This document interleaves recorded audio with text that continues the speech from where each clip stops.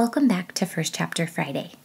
Today we will be reading Spin by Lamar Giles.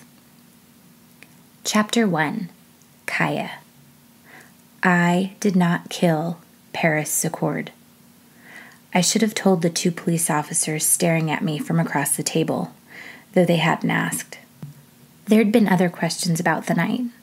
I answered as honestly as I could, as honestly as felt smart. Yet I wanted to state unequivocally that I was not the murderer here. Sweat made my shirt sticky, like a licked envelope, even though the tiny room was cold. You go to Cook High? Detective Barker asked. Through my damp shirt, I clutched the oblong charm that dangled from my nylon necklace and rested against my chest. Yes. My daughter was an Eagle, class of 97. He dragged a finger down the sheet in the open folder before him. How did he have a paper about me? And this? Sophomore? I'll be a senior in the fall. I did not kill Paris Secord. Even rehearsing it in my head seemed too loud, too fake. I did not kill Per. If I understand the situation correctly, your friend Paris was a DJ known for throwing impromptu parties in unsanctioned locations. Pop ups? Yeah. Not so much these days. Something changed with her? She got busy with her music production. My hands kneaded into each other, worked invisible dough between them. Help me understand that a bit more. I'm an old guy. That means what exactly? She made songs, the beats, sometimes lyrics, but not always. She made it all sound good together. This was more than a hobby? She had a song go viral some time ago. Then she did it again and again. Bigger artists have come wanting to work with her. I heard J. Cole had some interest. You heard? One of the detective's bushy eyebrows lifted. Not from her? No. There hadn't been many meaningful conversations between us lately. That last real talk was just mean, more name calling than career updates. I had a feeling some of this stuff they already knew. How could they not? Paris was famous. Maybe not get mobbed in the mall kind of fame, not yet. Her name rang out in Virginia, and with music heads in general, she was on her way. And now she wasn't. My hand kept working, even though I willed them to stop. Nothing was in my control that evening, not even my own body. I pressed my palms flat against the table. Stay, I shouted inside my skull, only slightly more convincingly than my silent assertion of innocence.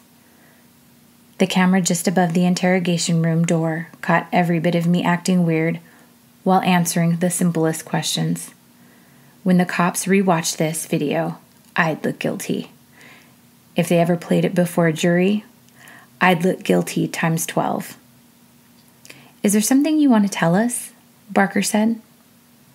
He was dark skinned, like me, with matted black and white grandpa hair that looked like he had been rolling in baby powder and coal dust. He'd smiled when he walked into the room, and I remembered wondering if they'd found a black man who smiled so I'd forget the badge was on his belt and say something wrong. Were his simple questions meant to make me act weird? Like a trap? I did not kill Paris Secord. Hey, hey, Kaya, his hands raised, palms facing me, a sign of peace.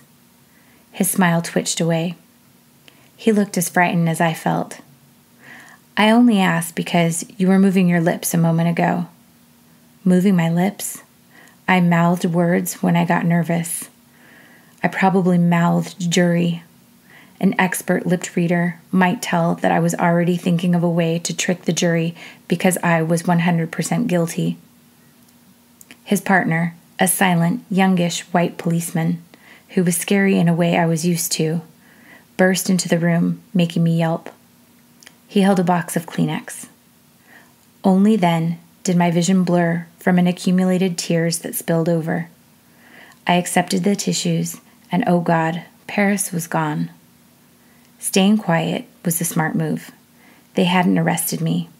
They never read me those rights cops read criminals on TV. I didn't know if that was a good thing or a bad thing. I only knew that silence was always advised. How many movies had a lawyer yelling at their innocent client to keep their mouth shut? But there was one thing I needed to say out loud once and make it sound true. I did not. Something crashed just outside the interrogation room. Shrieking curses followed. A general sense of panic soured the air inside the Ocean Shore Police Department's second precinct. Barker and his partner rushed from the room, joining a couple of ununiformed officers trying to contain the destructive lunatic who should be in here, handcuffed, maybe muzzled too. I did not kill Paris Secord. I had absolutely nothing to do with her death. Could all her so called friends say the same? And that concludes Chapter 1 of Spin by Lamar Giles. Thanks for listening.